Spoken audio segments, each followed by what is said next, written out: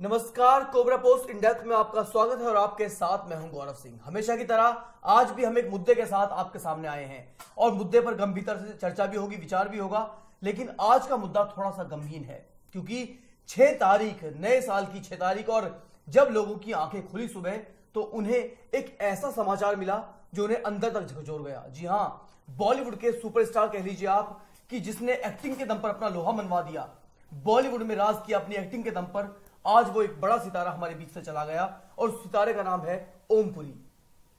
आज सुबह सात बजे ओमपुरी का, उनके घर में ही दिल का दौरा पड़ने से निधन हो गया। बताया जा रहा है कि ओमपुरी की उम्र छियासठ साल थी। उन्होंने लंबे टाइम तक बॉलीवुड में फ़िल्मों में अपनी एक्टिंग की और उसकी एक अलग जगह भी बनाई। आज के मुद्दे पर हमारे साथ विचार करेंगे, विचार विमर्श होंगे आलोक कुमार के साथ। आलोक आपसे जानेंगे सबसे पहले तो ओमपुरी की बात है और सबसे बड़ी बात यह है कि ओमपुरी हमारे बीच से जा चुके हैं। कितना बड़ा नुकसान देखते हैं आप इसे बॉलीवुड के लिए। देखिए ओमपुरी के रूप में हिंदी फ़िल्म इंडस्ट्री ने एक ऐसा कलाकार खोया है जिसने अपने अदाकारी के झंडे को कभी झुकने नहीं दिया। जी। एक कलाकार अपने किरदार को कितना ताकतवर बना सकता है इस बात को ओमपुरी ने अपने हर फ़िल्म में बार बार जो है साबित किया। उनकी पहली फ़िल्म घासीराम कोतवाल से उठाई है और उनकी आखिरी फ़िल्म तक आइए हर फ़िल्म में उनका रोल चाहे सपोर्टिंग एक्टर का हो जी। चाहे कॉमिक रोल हो विलेन का किरदार हो सिंपैथी गेन करने वाला अगर हो किरदार सबके साथ उन्होंने पूरा इंसाफ किया है। ज़ाहिर सी बात है इंसाफ तो किया है और ये इंसाफ पर्दे पर लोगों को दिखा और यही वजह थी कि पर्दे पर इन्हें भरपूर सराहना मिली लोगों ने इन्हें हमेशा सराहा और ओमपुरी आखिर दम तक लोगों के चहेते बने रहे अपने खास तौर से किरदारों को लेकर। आलोक बेस्ट एक्टिंग की बात करें कि किस तरह से एक मज़बूत अदाकारी थी। इनके अभिनय में जो दिखाई देती थी और एक यादगार कुछ फ़िल्में हैं जो इतिहास बन गई हैं कि ये काम सिर्फ़ ओमपुरी कर सकते थे और कोई नहीं कर सकता था। कुछ बता ओमपुरी की जो फ़िल्म थी अर्धसत्य जिसमें उन्होंने आनंद वेलेकर का रोल निभाया था। एक ईमानदार और जुनूनी इंस्पेक्टर का जो है वो रोल था। रामा शेट्टी जो उस फ़िल्म के मेन विलेन थे उसको आखिर में वो मार देते हैं। इस फ़िल्म के लिए उन्हें बेस्ट एक्टर का अवार्ड मिला था। दूसरी फ़िल्म थी उनकी आक्रोश जो उनकी पहली सुपरहिट फ़िल्म थी। इसके अलावा अवार्ड मिलना तो एक बात की बात है। पहला एक ऑडियंस जो है वो फ़िल्म देख के ये तय करता है कि आर्टिस्ट कितना दमदार है। और ओमपुरी की हर फ़िल्म देख के ऑडियंस का यही कहना है कि इस किरदार के साथ ओमपुरी के अलावा दूसरा और कोई इंसाफ नहीं कर सकता था। आपको एक एग्ज़ाम्पल देता हूँ। उनकी एक फ़िल्म आई थी श्याम बेनेगल की आरोहण। मेरे ख्याल से 80 के दशक की फ़िल्म थी। जी जी जी। उस फ़िल्म के जब आप स्टार्टिंग देखेंगे स्टार्टिंग का तीन मिनट देखेंगे तो स्टार्टिंग का तीन मिनट ही देखने के बाद आपको लगेगा कि यार शानदार एक्टर है ये। स्टार्टिंग के तीन मिनट में वैसी शुरुआत मैंने आज तक किसी दूसरे फ़िल्म की नहीं देखी है। ओमपुरी स्क्रीन के सामने हैं। तीन मिनट तक लगातार बोले हैं। तीन मिनट तक के डायलॉग को याद करके अनकट है वो वीडियो तो- बड़ी तो बात ये भी अपने आप में बॉलीवुड में एक कहा जाता है कि 10 सेकंड के किरदार के लिए कई कई रिटेक्स होते हैं। बिल्कुल। और जैसा कि हम भी मीडिया इंडस्ट्री से हैं तो इस बात को बखूबी जानते हैं कि रिटेक्स पर ही चलती है media industry and film industry क्योंकि जो लाइव सेगमेंट होता है वो बहुत ही कम होता है और बहुत कम पर्दे पर देखने को मिलता है खास तौर से फ़िल्म इंडस्ट्री में जबकि मीडिया में लाइव का एलिमेंट ज़्यादा होता है। आलोक कहा जाता है कि थिएटर के बंदे थे थिएटर से जुड़ा हुआ और यही वजह रही कि थिएटर ही ने बॉलीवुड में लेकर आया। और जो कि उनके अभिनय में दिखाई भी देता था कि थिएटर से जुड़े हुए हैं वो बेधड़क डायलॉग बाजी अपनी तरफ़ से डायलॉग बनाना बोलना उसे मॉड्यूल करना वो तमाम चीज़ें भी ओमपुरी कैरेक्टर में थी। तो थिएटर कहाँ से शुरू हुआ कैसे शुरुआत हुई? देखिए हरियाणा में प्राथमिक शिक्षा लेने के बाद इन्होंने जो है एनएसडी ज्वाइन किया। परिवार की माली हालत बहुत अच्छी थी नहीं। तो ऐसा हमने भी सुना है पढ़ा है आपने भी पढ़ा होगा कि इन्होंने एक ढाबे तक में जो है काम किया था अपना खर्च निकालने के लिए और जो है परिवार का खर्च निकालने के लिए। एनएसडी से निकलने के बाद ये एफटीआईआई गए। वहाँ से अपनी पढ़ाई पूरी करने के बाद ये अपना जो है करियर बनाने के लिए मुंबई आ गए। फिर यहाँ इन्होंने अपने एक नाट्य मंडली की स्थापना की। उसके बाद कुछ दिनों के बाद इनको अपनी जो है पहली फ़िल्म बनी मिली जो है उसका नाम था घासी राम कोतवाल। उसके बाद से इन्होंने कभी पीछे मुड़ के नहीं देखा। एक चीज़ और आर्ट फ़िल्मों को छोड़ के जब ये कॉमर्शियल फ़िल्मों में आए और अभी लास्ट इंटरव्यू तक पिछले कुछ दिनों तक उनकी जो उस दौर की थी फ़िल्में हम्म, पार जेनेसिस आ, सदगति गिद्ध मिर्च मसाला आरोहण। आर्ट फ़िल्में थी छोटे बजट की थी फ़िल्में। बड़े बजट की फ़िल्में करने के बावजूद ओमपुरी हमेशा उस दौर की फ़िल्मों को मिस किया करते थे।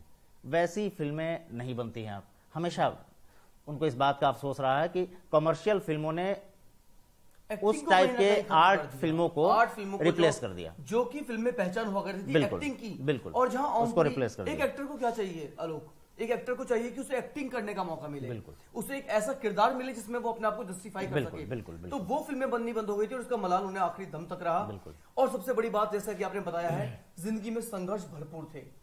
परिवार की माली हालत अच्छी नहीं होने के बावजूद उन्होंने संघर्ष किए और पीछे मुड़ के नहीं देखा। ये उनकी एक बहुत बड़ी जीत साबित हुई। आलोक कुछ लाइफ से जुड़ी हमेशा कॉन्ट्रोवर्सीज भी रही हैं। और बाद के दिनों में तो जैसा कि हमने देखा है पिछले कुछ सालों से लगातार ओमपुरी एक ना एक, एक के बाद एक के बाद एक बिल्कुल। कंट्रोवर्सीज में पड़ते जा रहे थे। चाहे उनके कोई बयान हो जाए चाहे कोई घरेलू हिंसा का मामला हो क्या कुछ था ये सब? देखिए ओमपुरी राजनीतिक आदमी नहीं थे लेकिन उनके बयान देख के लगता है कि उनको राजनीति में गहरी दिलचस्पी ज़रूर थी। जी। विवाद भले ही वो विवादों से दूर भागे लेकिन विवाद उनके पीछे- पीछे। पहुँच जाते थे।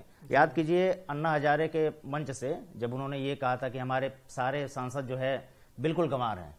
ये बवाल हुआ था।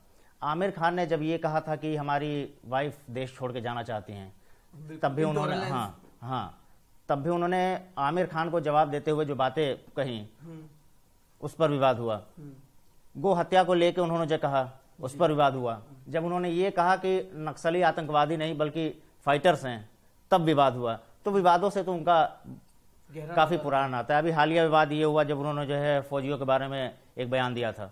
तो विवादों से तो उनका हमेशा का नाता रहा है। अच्छा ये घरेलू हिंसा वाला पत्नी से मारपीट का ये ये क्या चक्कर था? जिसमें कहा जाता है कि पत्नी कोर्ट पहुँच गई उसने ओमपुरी की पोल खोल दी थी लेकिन ओमपुरी ना डरे ना दबे फिर भी बिंदास ज़िंदगी ज़िंदगी जीते रहे अपनी वो क्या सब? ये देखिए ये उनका व्यक्तिगत मामला है। हम्म, उस पर हस्तक्षेप हम ना ही करें तो ठीक है। वैसे ये कहानी है उनकी जो पहली पत्नी थी सीमा कपूर उनके साथ उनकी नहीं पटी। दोनों अलग हो गए। जी। फिर इन्होंने जो है दूसरी शादी की नंदिता से। हम्म। उनके साथ भी नहीं पटी। अलग हुए। अलग हुए। नंदिता ने ही इनपे जो है इनकी बायोग्राफी लिखी थी। तो बहुत बड़ी बात है लोग बहुत बड़ी बात व्यक्तिगत मामला है उसको हम लोग नहीं बिल्कुल तो बिल्कुल। देखिए बड़ी बात क्या है कि पत्नी के साथ रहे पत्नी से डिवोर्स भी हो गए लेकिन पत्नी ने ही फिर इनके इनके लिए किताब लिखी। ये भी एक बड़ी बात है क्योंकि जिस तरह से दर्शक इन्हें कभी शायद भुला नहीं पाएँगे ऐसी इसी तरह बीवी भी इन्हें कभी भुला नहीं पाई और हमेशा उसके दिल में एक इनके लिए जगह बनी रही। आलोक एक दिलचस्प बात है यहाँ पे है कि किसी को एक इंटरव्यू दिया गया था बड़ा इंटरव्यू किसी चैनल को। तो उसमें यह कहा गया था इंटरव्यू में कि पहले से भविष्यवाणी कर दी थी कि मेरी मौत इस तरह की होगी और मैं इस तरह से चला जाऊँगा ये मेरे मरने का समय होगा और कुछ कुछ हुआ भी ऐसा ही है। देखिए पहला तो ओम पूरी इंटरव्यू नहीं देते थे वो हमेशा जो है बातचीत करते थे। जी। आप उनका इंटरव्यू देखे वो हमेशा जो है बातचीत के लिए राज़ी होते थे। इंटरव्यू दिया था उन्होंने शायद फरवरी 2015 में। बीबीसी को इंटरव्यू दिया था उसमें उन्होंने ये कहा था कि आप याद रखिएगा हमारा ये इंटरव्यू हम्म। मैं भी एक दिन इसी इसी तरह चुपचाप चला जाऊँगा और आप ही लोग ये खबर चलाएँगे कि ओमपुरी का सुबह सात बज के बाईस मिनट पर निधन हो गया। तो इस टाइप की बातें उनकी हमेशा याद रहेंगी।